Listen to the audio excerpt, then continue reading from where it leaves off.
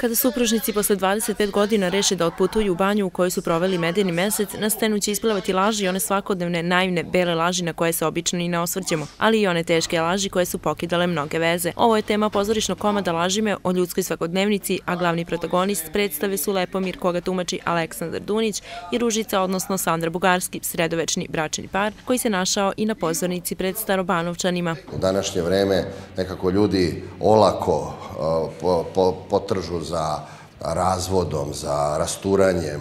Mnogo ima egoizma, mnogo ima samoživosti, mnogo ima samoljublja u današnje vreme.